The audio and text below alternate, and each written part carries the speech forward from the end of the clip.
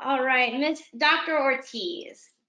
Um, why did you decide to go into medicine?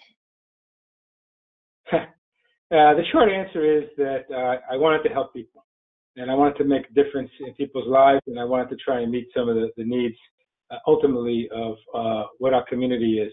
Uh, I started out as a youngster, you know, uh, being interested in what my family doctor did for us in the family, and being a very impressive person, very caring person with eyes that you could tell made a commitment to taking care of us.